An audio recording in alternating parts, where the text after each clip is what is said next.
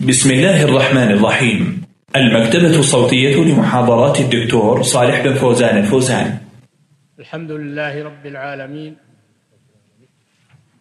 والصلاة والسلام على نبينا محمد رسول رب رسول رب العالمين على آله وأصحابه من تبعهم بإحسان إلى يوم الدين. أما بعد فإن من أعظم نعم الله عز وجل على عباده إرسال الرسل لهداية الخلق. فالله جل وعلا يبعث الرسل بحاجة البشرية إليهم ليدلوهم على الطريق الصحيح الموصل إلى الله سبحانه وتعالى. فما زالت رسل الله تتتابع. ما أرسلنا رسلنا تترى يعني متتابعة. إلى عهد المسيح عيسى بن مريم عليه الصلاة والسلام آخر أنبياء بني إسرائيل. ثم جاء زمن الفترة بين عيسى ومحمد عليهما الصلاة والسلام. وهي فترة طويلة فترة طويلة في خلالها حرفت التوراة والإنجيل وغير دين موسى وعيسى عليهما الصلاة والسلام. ولم يبقى على الدين الصحيح من أتباع موسى وأتباع عيسى لم يبقى إلا أفراد قليل. أفراد قليل. ثم إنهم انقرضوا. فلم يبق أحد؟ فصار أهل الكتاب من اليهود والنصارى على دين محرف مغير مبدل. ليس هو دين موسى عليه السلام ولا دين عيسى بل هو دين مغير محرف. وإن بقي اسمه. وأهل الحجاز كانوا على دين أبيهم إسماعيل ابن إبراهيم عليهما الصلاة والسلام وهو في الحقيقة هو دين إبراهيم عليه الصلاة والسلام. وكان على الحنيفية على التوحيد الخالص لله عز وجل. ثم إنه دب إليهم الشر مع طول المدة وفشى الجهل فيهم واندرست آثار الرسالات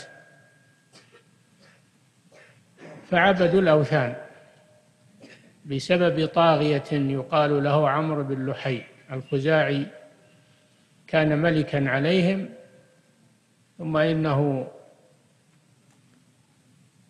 حبب إليه عبادة الأوثان فألزم الناس بها وجلب الأوثان إلى أرض الحجاز. وانتشرت في أرض الحجاز وما حوله انتشارا فظيعا حتى إنها صارت في كل بيت من بيوت مكة. وصار على الكعبة المشرفة ثلاثمائة وستون صنما. وعلى الصفا والمروة إساف ونائلة. وهبل. وحول مكة اللات والعزى ومنات. وذو الخلصة. أصنام منتشرة. ولم يبقى على دين إبراهيم عليه السلام إلا نزر يسير مثل ورقة بن نوفل و فعند ذلك أذن الله جل وعلا ببعثة محمد صلى الله عليه وسلم. في هذا الجو المظلم المعتم هذه الجاهلية هذه الوثنيات المنتشرة وغاب دين الأنبياء وجاءت الوثنيات. فصار الناس في جاهلية جهلة وضلالة عمية في أثناء ذلك ولد محمد صلى الله عليه وسلم بمكة عام الفيل.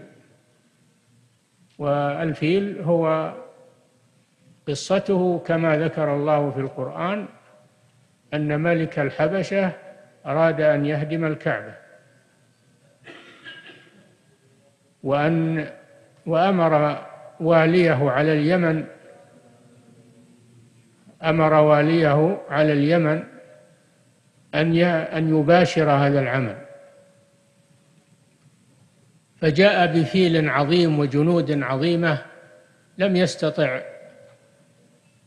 لم يستطع أهل الحجاز ولا قبائل العرب لم يستطيعوا الوقوف في وجهها. إلى أن وصل إلى أرض الحرم وعسكر عند الحرم. ثم إنه أراد أن يباشر الهدم وجه الفيل فأبى الفيل أن يتحرك. حركه زجره أبى أن يتحرك. حبسه الله جل وعلا. بينما هم كذلك إذ جاءت فرقان من الطير من جهة البحر. فاصطفت فوق رؤوسهم ومعها حجارة. حجارة كل واحد معه ثلاث كل طائر معه ثلاث حجارة. واحد في منقاره وإثنان في رجليه. فلما توسطوا على رؤوس القوم أمطرتهم هذه الطيور أمطرتهم بالحجارة فكانت تضرب رأس الرجل وتخرج من دبره حتى أهلكهم الله عن آخرهم ولم ينجو إلا قائدهم أبرهة وأصابه المرض وتقطع جسمه ومات. ولد النبي صلى الله عليه وسلم في هذه السنة. عام الفيل أبوه عبد الله بن عبد المطلب توفي وهو في بطن أمه. فكفله جده آه، أبوه عبد الله بن عبد المطلب توفي ومحمد صلى الله عليه وسلم في بطن أمه. فكفله جده عبد المطلب. ولما رأى النبي النبي صلى الله عليه وسلم أحبه وأعجبه وصار يدنيه على أولاده ويقربه ألقى الله له القبول في قلب جده حتى حنى عليه حنوا شديدا. ثم توفي جده في السنة الرابعة من عمر الرسول صلى الله عليه وسلم. وعهد به إلى عمه أبي طالب. وكان رجلا كريما شريفا مهابا. فخلف أباه في في كفالة محمد صلى الله عليه وسلم. وحنى عليه حنوا شديدا إلى أن كبر عليه الصلاة والسلام. وبلغ عليه الصلاة والسلام. بينما هو كذلك؟ إذ عرضت عليه خديجة رضي الله عنها وكانت امرأة كانت امرأة حصيفة عاقلة عرضت عليه أن يسافر إلى الشام بتجارة لها. فسافر إلى الشام بتجارة لخديجة. ورجع بأموال وربح ربحا عظيما. فأحبته خديجة وأعجبها أعجبتها أمانته عليه الصلاة والسلام. فعرضت عليه الزواج بها فتزوجها صلى الله عليه وسلم. وكانت نعم المرأة. وهذا من تيسير الله لنبيه محمد صلى الله عليه وسلم.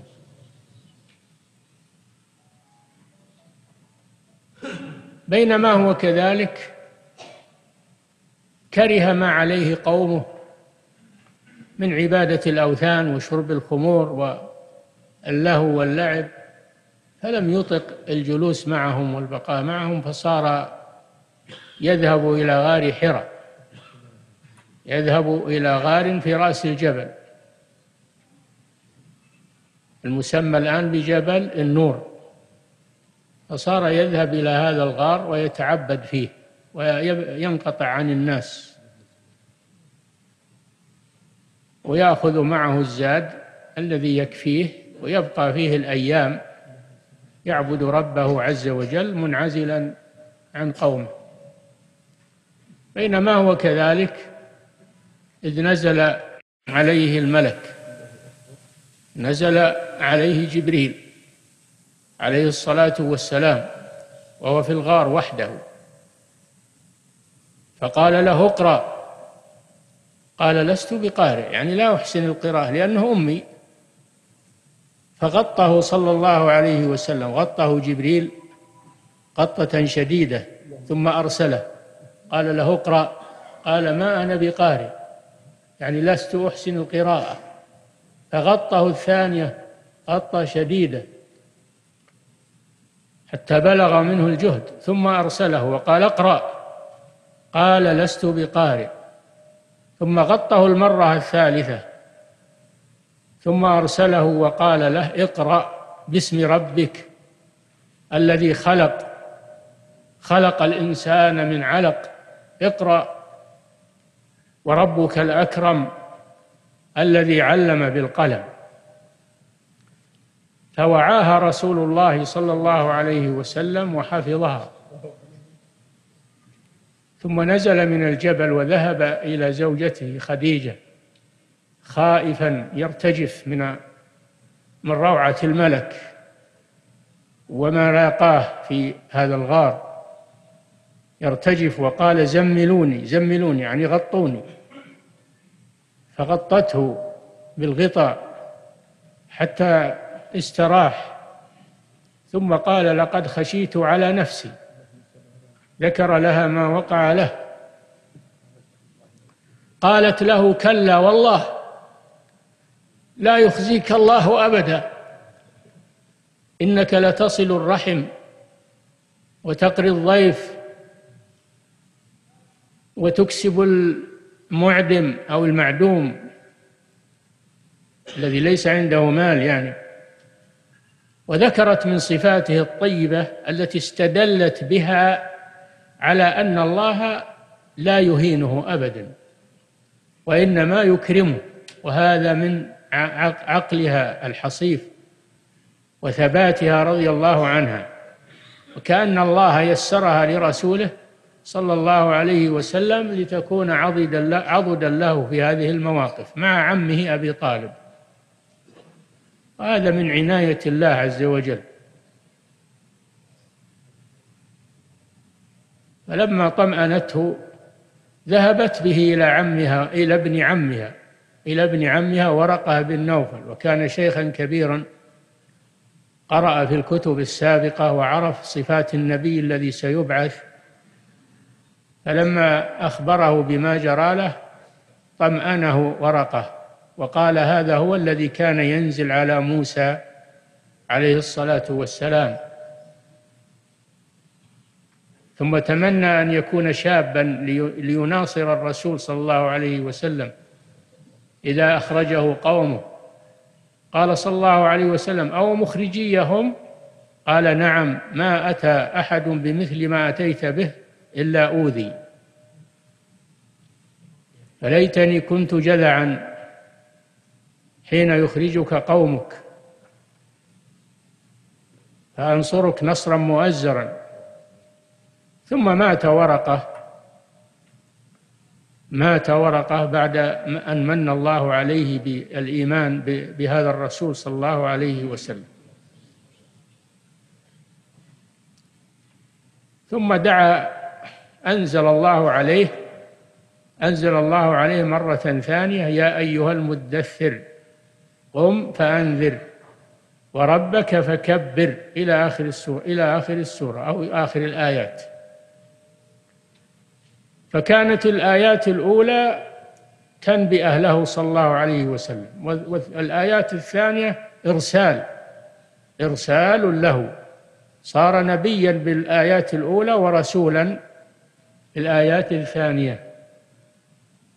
فجعل يدعو إلى الله سرا يدعو إلى الله سرا مختفيا من أذى قريش. آمن به أول من آمن به من الرجال أبو بكر الصديق رضي الله عنه. وأول من آمن به من الصبيان علي بن أبي طالب رضي الله عنه. وأول من آمن به من الموالي زيد بن حارثة مولى رسول الله صلى الله عليه وسلم. وأول من آمن به من النساء خديجة رضي الله عنها. ثم صار الناس يسلمون الفرد تلو الفرد ولكن لا تزال دعوة الرسول صلى الله عليه وسلم سرية. من الخوف من قريش. حتى إنهم كان إذا خرج إلى المسجد الحرام للطواف أو للصلاة آذوه صلى الله عليه وسلم وآذوا من معه. وهددوه حتى إنهم مرة تغامروا عليه وضربوه صلى الله عليه وسلم. حتى جاء أبو بكر رضي الله عنه وخلصه منهم ردهم عنه. وفي مرة كان ساجدا صلى الله عليه وسلم عند الكعبة فألقوا على ظهره سل الجزور عليه الصلاة والسلام. كل هذا وهو صابر عليه الصلاة والسلام. صابر لوجه الله عز وجل محتسب.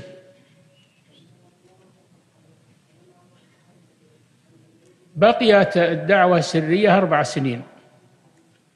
السنة الرابعة أنزل الله عليه قوله تعالى فاصدع بما تؤمر وأعرض عن المشركين.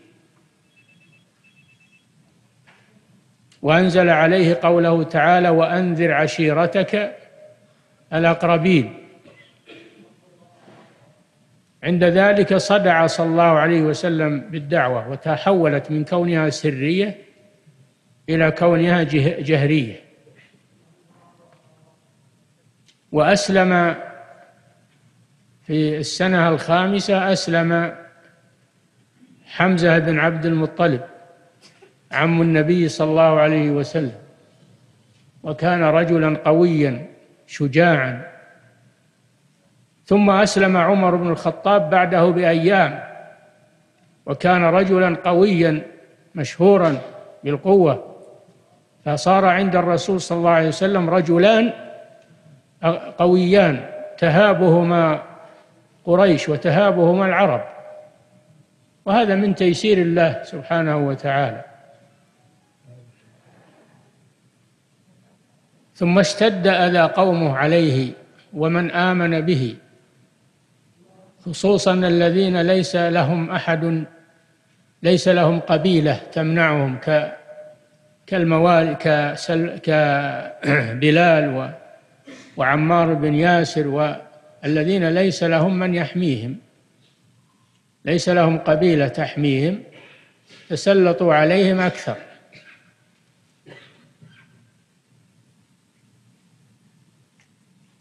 فعند ذلك أذن صلى الله عليه وسلم لأصحابه بالهجرة إلى الحبشة لأن فيها ملكا عادلا وهو على دين النصرانية لكنه عادل لا يظلم أحد عنده.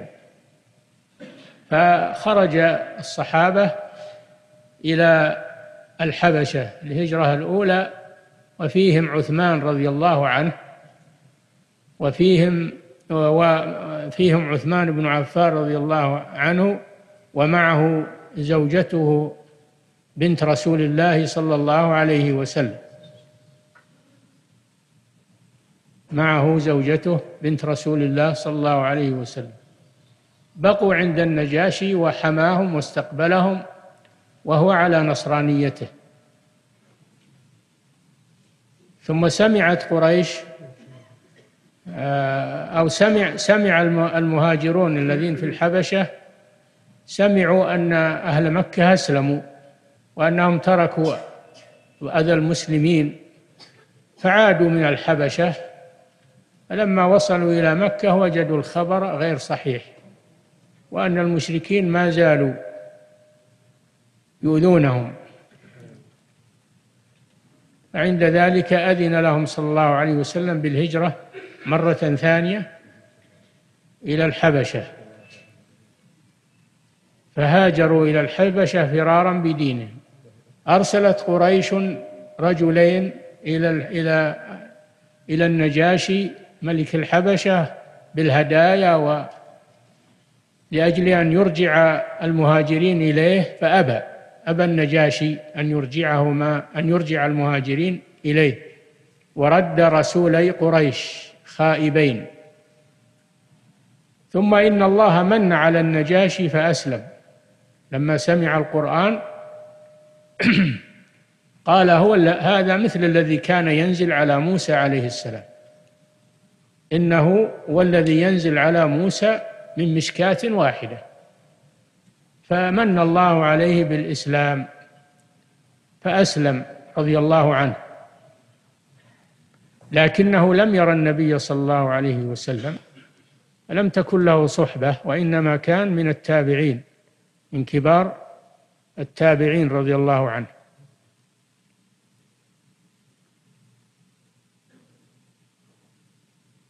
وفي السنة العاشرة من الهجرة مات آه، وبعد ذلك يعني بعد ما رجع الرسولان آيسين والنجاشي خيب طلبهما اشتد أذاهم على رسول الله صلى الله عليه وسلم وعلى المسلمين عموما وعلى بني هاشم عموما حتى من لم يسلم منهم. اشتد أذاهم على بني هاشم وقاموا وكتبوا صحيفة بمقاطعة الرسول صلى الله عليه وسلم وبني, وبني هاشم. وحصروهم في شعب أبي طالب. لا يتصل بهم أحد ولا يبيعون عليهم ولا يشترون منهم ولا يتركون الماء يذهب إليهم ولا أي شيء. حاصروهم حصارا شديدا يريدون أن يتركوا دينهم ولكنهم أبوا. ومعهم أبو طالب أبو طالب معهم وبنو هاشم معهم وبنو المطلب أيضا معهم. انحصروا في الشعب مؤمنهم وكافرهم مع رسول الله صلى الله عليه وسلم. اشتد عليهم الأمر. ثم إن جماعة من عقلاء قريش فكروا في الأمر وأدركوا أن هذا الأمر لا يجوز. حصار بني عمهم وإخوان وإخوان وإخوانهم أن أن يحصروهم هذا الحصار الشديد. هذا يفضحهم عند العرب. فقاموا ونقضوا الصحيفة. وأذن للرسول صلى الله عليه وسلم ومن معه بالخروج من الشعب. ومعه عمه أبو طالب. خرجوا من الشعب. خرجوا من الشعب. وفي السنة العاشرة مات ماتت زوجته خديجة. ومات عمه أبو طالب بعدها بأيام في عام واحد. حينئذ فقد النبي صلى الله عليه وسلم عمه الذي كان يحميه ويحوطه ويمنعه من أذى قومه وفقد زوجته التي كانت تؤيده وتساعده و توسع عليه أمره فقد هذين الرجل والمرأة. اشتد الأمر به صلى الله عليه وسلم. ومن معه. وسمى هذا العام الذي مات فيه ماتت فيه خديجة وأبو طالب سماه عام الحزن لأن النبي صلى الله عليه وسلم حزن عليهما وفقدهما. و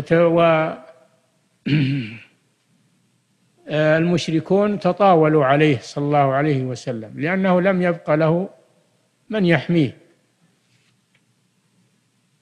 وكانوا قبل ذلك بقليل تآمروا وجاءوا إلى أبي طالب وعرضوا عليه أن يسلم لهم محمدا صلى الله عليه وسلم لأنه سب آلهتهم وعاب دينهم وسفه أحلامهم. فالنبي فأبو طالب عرض على رسول الله صلى الله عليه وسلم ما يقولون. يعني أنه يترك سب دينهم ويترك كذا ويترك كذا عرض عليه ذلك. فقال كلا والله يا عم والله لو وضعوا الشمس بيميني والقمر بشمالي على أن نترك هذا الأمر لا أتركه حتى أهلك دونه. كانوا عرضوا عليه الأموال وعرضوا عليه الزواج بأجمل بناتهم ويجمعوا له الأموال وأن يعالجوه إذا كان فيه مرض فيه يعني مرض نفسي لأن عندهم من هذا مرض نفسي. الذي أصاب الرسول ما هو بوحي وإنما هو مرض نفسي. وأن يعالجوه حتى يشفى عرضوا مغريات. فأبو طالب خير النبي صلى الله عليه وسلم. النبي صمم على الدعوة وقال مقالته المشهورة. لو وضعوا الشمس بيميني والقمر بشمالي على أن نترك هذا الأمر ما تركته حتى أهلك دونه أو يظهره الله. فعند ذلك أبو طالب قوى عزم الرسول وقال امضي فيما أنت فيه ولن يصلوا إليك ولن يصلوا إليك. لكن لم تمهل المنية أبا طالب حتى توفي. وتوفيت خديجة رضي الله عنها. عند ذلك ضاق الأمر على الرسول واشتد عليه أذى قوم قومه. فلم ير بدا من الخروج من مكة إلى الطائف. ليدعوهم إلى الله ويعرض عليهم يعرض عليهم أن يحموه. أن يكونوا بديلا عن أبي طالب وأن وأن يحموه من أذى قريش. فعرض ذهب إلى الطائف وعرض عليهم دعوته فسبوه سبا قبيحا. أقام فيهم أيام يدعوهم إلى الله فلم يقبلوا. وسبوه سبا شنيعا قبيحا وأغروا عبيدهم وسفهاءهم يرمونه بالحجارة حتى أدموا عقبه عليه الصلاة والسلام. وليس معه إلا مولاه زيد بن حارثة. وكان يقيه من الحجارة رضي الله عنه. ثم رجع من الطائف. رجع من الطائف. وبينما هو في بين الطائف ومكة في وادي نخلة أدركته صلاة الفجر. فصلى عليه الصلاة والسلام هو ومولاه صلاة الفجر وقرأ القرآن فسمعت الجن سمعت الجن القرآن من رسول الله صلى الله عليه وسلم فأعجبهم القرآن. وأنزل الله تعالى في ذلك قل أوحي إلي أنه استمع نفر من الجن يستمعون القرآن. قل أوحي إلي أنه استمع نفر من الجن. فقالوا إنا سمعنا قرآنا عجبا. إلى آخر السورة. وقوله تعالى وإذ صرفنا إليك نفرا من الجن يستمعون القرآن فلما حضروه قالوا أنصتوا. فلما قضي ولوا إلى قومهم منذرين قالوا يا قومنا إنا سمعنا كتابا أنزل من بعد موسى يهدي إلى الحق وإلى طريق مستقيم. يا قومنا أجيبوا داعي الله وآمنوا به. إلى آخر الآيات. ثم واصل السير إلى مكة فقال له زيد بن حارثة رضي الله عنه كيف ترجع إليهم وقد أخرجوك؟ فقال يا زيد إن الله جاعل لما ترى فرجا ومخرجا. فأرسل إلى إلى المطعم بن عدي وكان من أشراف أهل مكة أرسل إليه أن يحميه حتى يدخل مكة وكان رجلا مشركا لكنهم كان عندهم الحمية العربية والشهامة وكانوا لا يردون من استجار بهم. لا يعتبرون هذا من الفخر إنهم يحمون من استجار بهم. فقبل المطعم ابن عدي أن يجير رسول الله صلى الله عليه وسلم في دخوله إلى مكة وتسلح هو وأولاده وأحاطوا بالنبي صلى الله عليه وسلم حتى دخل مكة وطاف بالبيت وهم يحرسونه. وهم يحرسونه. ولكن ما يزال الأمر شديدا من قريش يؤذونه.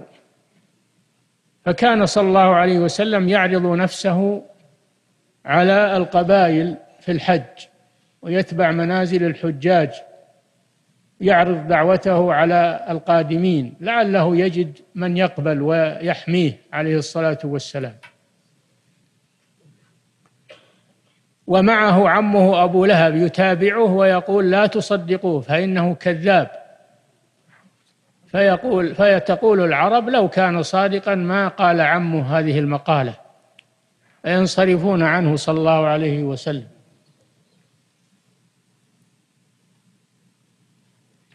ثم إن الله يسر له أن يلتقى بجماعة من أهل المدينة من الأنصار. كانوا لا يقال لهم الأنصار في ذاك الوقت الأوس والخزرج من أهل المدينة.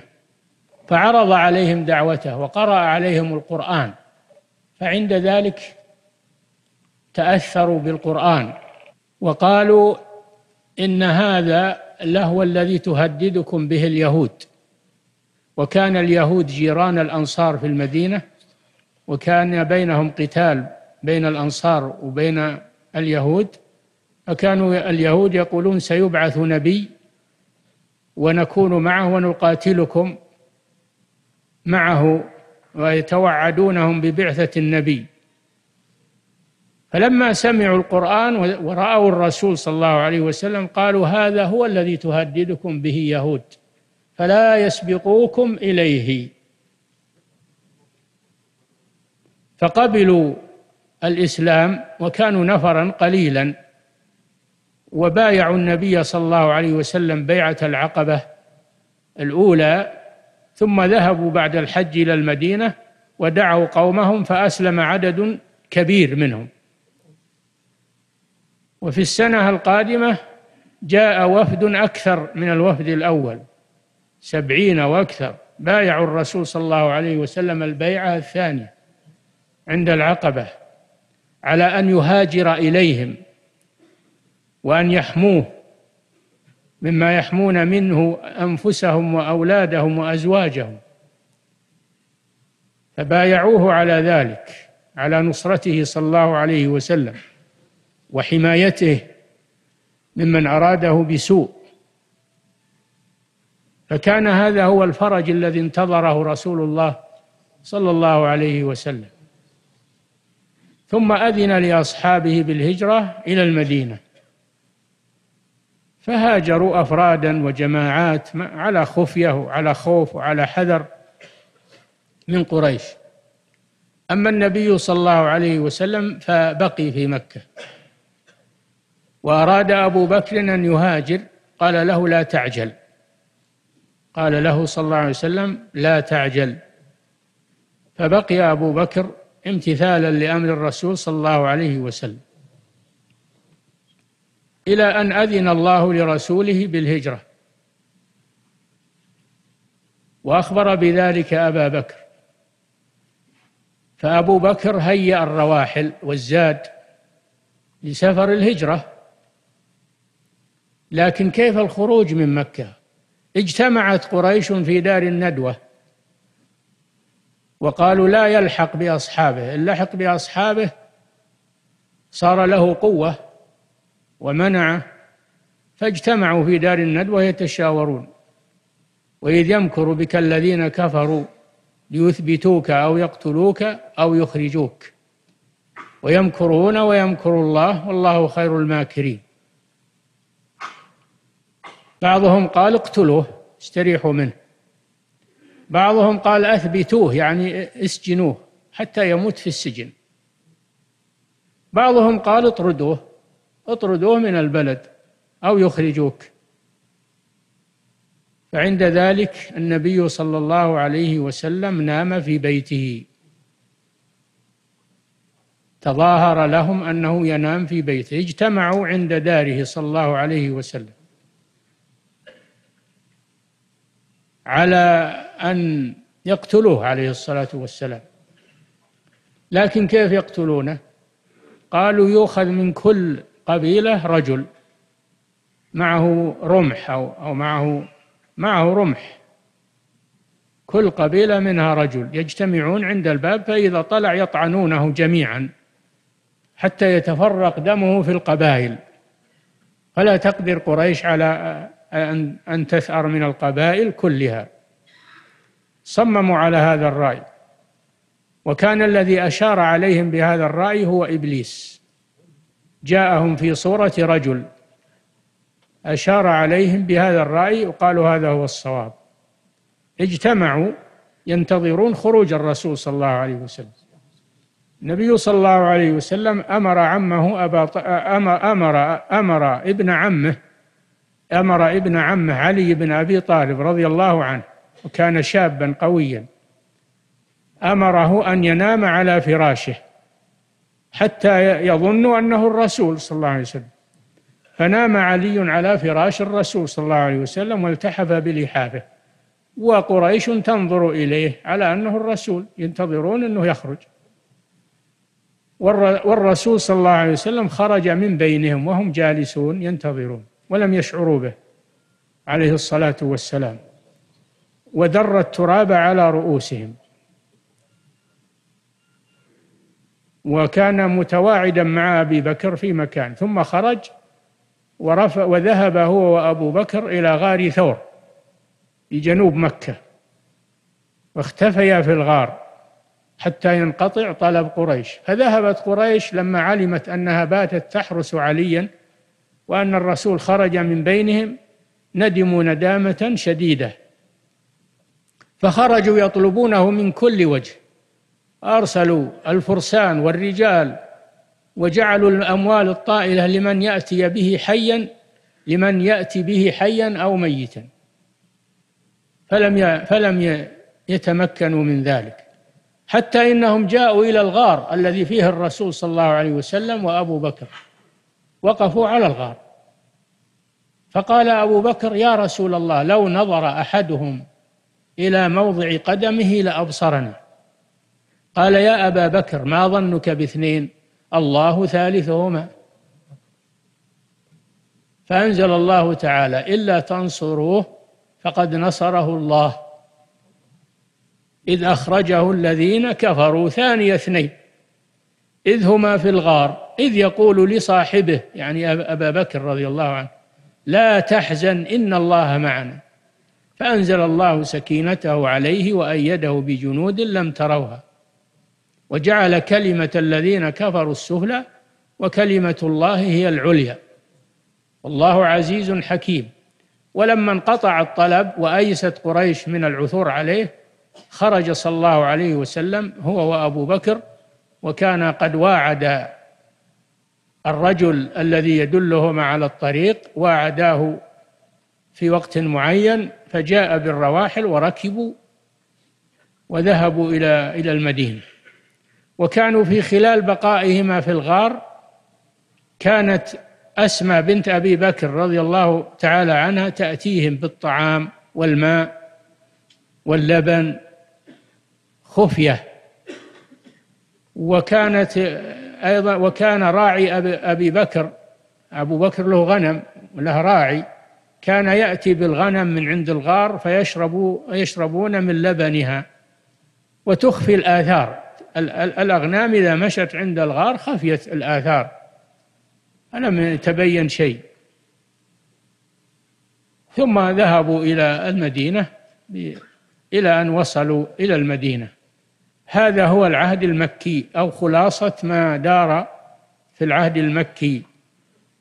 وكان صلى الله عليه وسلم في فترة العهد المكي مقتصرا على الدعوة إلى الله ولم يؤمر بالجهاد. بل كان الجهاد محرما في هذه الفترة لأن الله يأمرهم بالصبر يأمرهم بالصبر على الأذى والثبات على الدين وانتظار الفرج. ولم يأذن لهم بالقتال. ألم تر إلى الذين قيل لهم كفوا أيديكم وأقيموا الصلاة وآتوا الزكاة فلما كتب عليهم القتال يعني في المدينة بعد ما هاجروا فهم في مكة كانوا ممنوعين من القتال. لماذا؟ لأنهم لو قاتلوا وهم مستضعفون لأهلكهم الكفار وأبادوهم عن آخرهم. فهذا فيه فهذا فيه أن درء المفاسد مقدم على جلب المصالح وفيه ارتكاب أخف الضررين دفعا لأعلاهما. وهذه الحالة يؤخذ منها أن المسلمين إذا كانوا لا يقدرون على قتال الكفار فإنهم لا يقاتلونهم حتى يكون عند المسلمين قوة يستطيعون بها القتال. أما لو قاتلوا وهم لا يستطيعون تسلط عليهم الكفار فأبادوهم عن آخرهم. هذا هو السر في كون الرسول صلى الله عليه وسلم لم يؤمر بالقتال رغم ما كان يلقى هو وأصحابه من الأذى حتى إن بعضهم يقتل كما قتلت سمية أم أم عمار بن ياسر رضي الله تعالى عنهما وكانوا يضربون كما ضربوا بلال وعذبوه وسحبوه في الرمضة وضعوا الصخرات على صدره في شدة الرمضة حرارة مكة يطلبون منه أن يرجع. فيقول لا أحد أحد. كل ما قالوا له ارجع إلى عن دين محمد يقول لا يقول أحد أحد. فما زالوا كذلك وهو يصبر. وهو يصبر على على العذاب. ويتمسك بالدين. فالعهد المكي ليس فيه قتال. ولم يؤمر المسلمون بالانتقام لأنفسهم بل أمروا بال أمروا بالصبر والصفح والصفح والإعراض مع الدعوة إلى الله عز وجل. مع الدعوة إلى الله فيقتصر على الدعوة لمن أراد الله هدايته. أما القتال فإنه يؤجل إلى أن يكون عند المسلمين الاستعداد للقتال بالدولة والرجال والسلاح والقوة. فلما قامت الدولة الإسلامية في المدينة بقيادة رسول الله صلى الله عليه وسلم واجتمع المهاجرون والأنصار ومن لحق بهم من العرب عند ذلك أمر الله بالقتال بعد الدعوة إلى الله سبحانه وتعالى. فهذا هو حاصل العهد المكي. وفي قبيل الهجرة قبيل الهجرة أسري برسول الله صلى الله عليه وسلم إلى بيت المقدس. وعرج به من هناك إلى السماء. وفوق السماوات كلمه ربه عز وجل. وأمره بالصلوات الخمس. فرض عليه الصلوات الخمس. فلما أصبح صلى الله عليه وسلم حدث الناس بما جرى في هذه الليلة من الإسراء والمعراج فاشتد تكذيب المشركين وسخريتهم برسول الله صلى الله عليه وسلم. وارتد بعض من ارتد من من أظهروا الإسلام. لأنهم يعني قالوا ما يمكن الإسراء في ليلة ونحن نذهب إلى الشام آه، شهر ونرجع شهر. ليلة واحدة ما يمكن هذا. يقيسون قدرة الله على قدرتهم. فاتخذوا من هذا وسيلة إلى التشهير بالرسول صلى الله عليه وسلم. حتى قالوا لابي بكر ما أما علمت ما صنع صاحبك؟ قال وماذا؟ قالوا إنه يقول إنه أسري به إلى البيت المقدس وعرج به إلى السماء. قال إن كان كما قال فهو كما قال صلى الله عليه وسلم.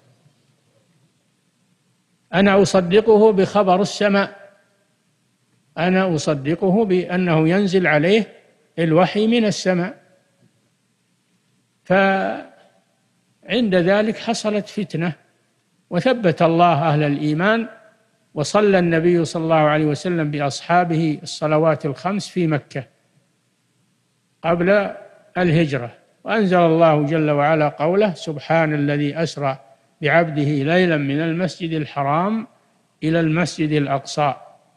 وقوله تعالى في أول سورة النجم ما ضل صاحبكم وما غوى وما ينطق عن الهوى إن هو إلا وحي يوحى. علمه شديد القوى يعني جبريل عليه السلام.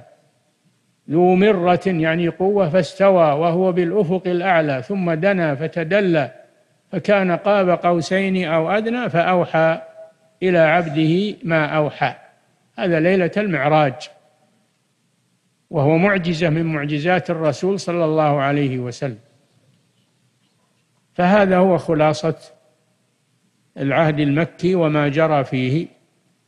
وربما تركنا أشياء كثيرة لا يتسع الوقت لسردها. صلى الله وسلم